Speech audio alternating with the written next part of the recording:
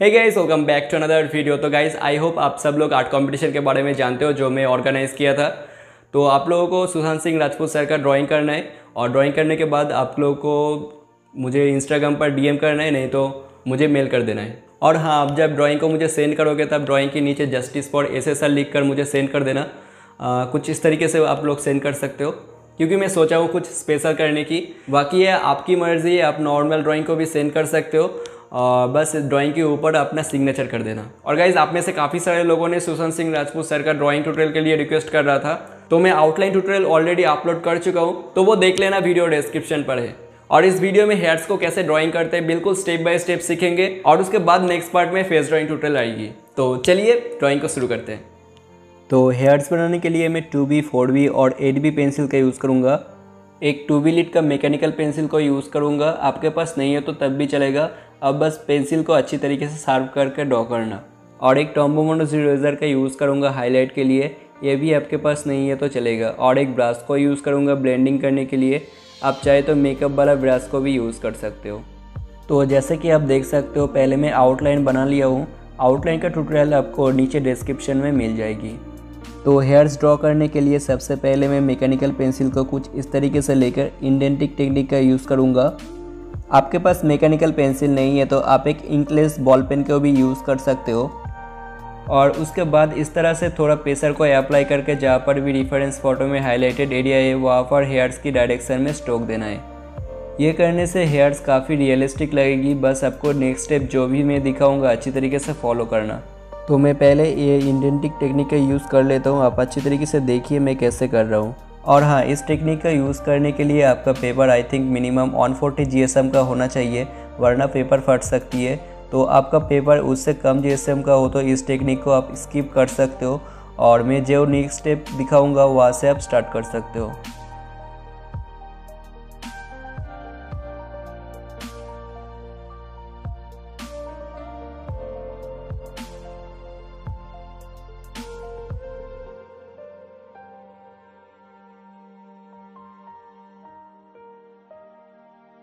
Okay, मैं first step को complete कर चुका हूँ। अभी मैं टू बी पेंसिल का यूज़ कर रहा हूँ और बिल्कुल लाइट प्रेशर के साथ हेयर की डायरेक्शन में स्ट्रोक दे रहा हूँ। बस आपको ऐसे ही टू बी पेंसिल का यूज़ करके पूरे हेयर्स को सेट कर लेना है और आपकी पेंसिल बिल्कुल शार्प होना चाहिए, नहीं तो आप टू बी लीड का मैकेनिकल पेंसिल को भी यूज़ कर सकते हो। मैकेनिकल पेंसिल को यूज़ करने की फ़ायदा यही है कि आपको बार बार पेंसिल को शार्प नहीं करना पड़ेगा। तो मैं इसी तरीके से शार्प पेंसिल से पूरी हेयर्स को सेट कर लेता हूँ। अब तब तक देखिए मैं कैसे कर रहा हूँ। मैं आप लोगों को मैकेनिकल पेंसिल को भी यूज़ करके दिखा देता हूँ। बाकी रिज़ल्ट तो सेम ही आएगी। और हाँ आप लोगों को सजेस्ट करूँगा, आप लोग बिल्कुल पेशेंस के साथ ड्रॉ करना। एक एक पार्ट पकड़ के ड्रॉ करना। एक ही बारी में मत कर देना और जल्दबाजी मत करना। नहीं तो आपकी हेयर्स अच्छी नहीं लगेगी। और जैसे कि आप देख सकते हो हाईलाइटेड एरियाज़ में बिल्कुल लाइट प्रेशर को यूज़ कर रहा हूँ। और जहाँ पर ज़्यादा डार्क एरिया है, वहाँ पर ज़्यादा प्रेशर को अप्लाई कर रहा हूँ। तो इसी तरीके से पूरी हेयर्स को मैं ड्रॉ कर लूँगा। तब तक अब देखिए मैं कैसे कर रहा हूँ।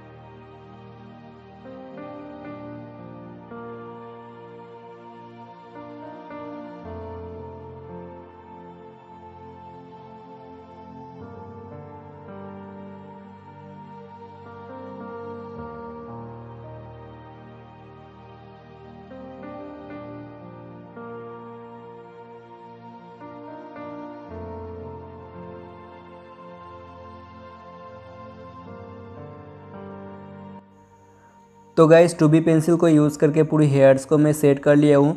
अभी ब्रश को यूज़ करूँगा इसको ब्लेंडिंग करने के लिए। और आपको हेयर्स में ब्लेंडिंग स्टम्प या टिश्यू पेपर या किसी भी टूल का यूज़ नहीं करना है। ओनली ब्रश को यूज़ करना है। और बिल्कुल लाइटली ब्लेंडिंग करना है। कुछ इस तरह से। इससे पहले टू बी पेंसिल को यूज़ करके जिस डायरेक्शन में हेयर्स को ड्रॉ किया हूँ ब्रश से उसी डायरेक्शन में ब्लेंडिंग करना है।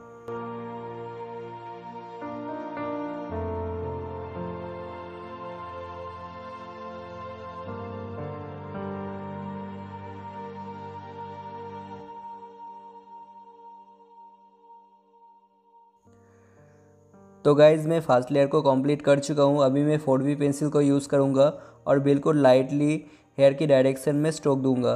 क्योंकि इसके ऊपर आपको हाईलाइट भी करना है और डिफरेंस फ़ोटो के हिसाब से जहाँ पर भी डार्क एरिया है, वहाँ पर थोड़ा प्रेशर के साथ ड्रॉ कर रहा हूँ। और एकदम से आपको एक ही पेंसिल से डार्क नहीं करना है लेयर बाय लेयर आपको करना है, तभी आपका ड्राइंग रियलिस्टिक लगेगी। तो ऐसे ही करके इस लेयर में फोर बी पेंसिल को यूज़ करके पूरी हेयर्स को ड्रॉ कर लूँगा। तब तक अब देखिए मैं कैसे कर रहा हूँ।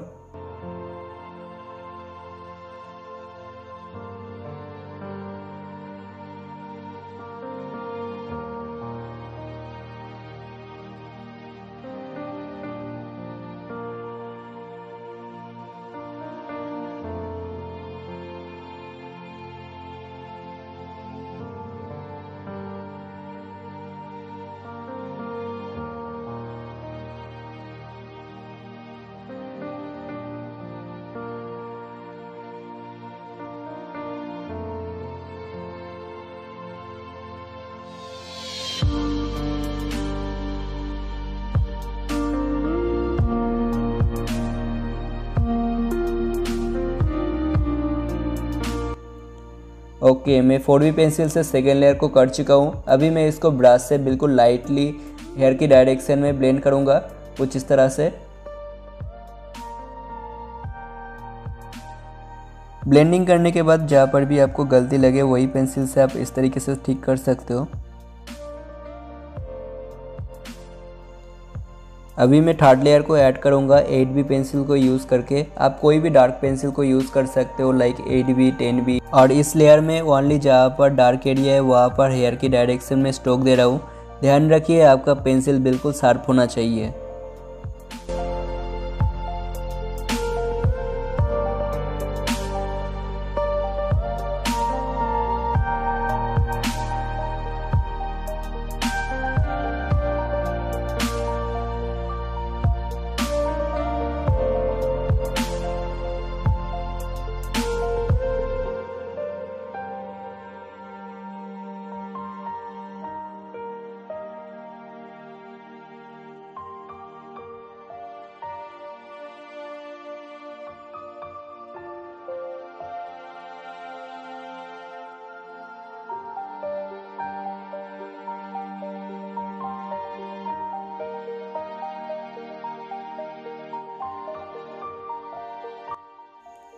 ओके, अभी मैं इसको भी वैसे ही हेयर की डायरेक्शन में ब्लेंड कर लूँगा और फिर इसके बाद हाईलाइट करूँगा।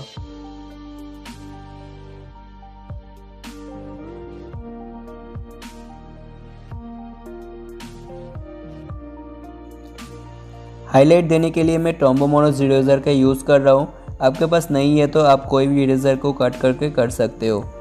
और टॉम्बो मोनोस इरेजर को कैसे आप घर में बना सकते हो, इसके ऊपर भी मैं एक वीडियो अपलोड कर चुका हूँ। आप वो चेकआउट कर लेना।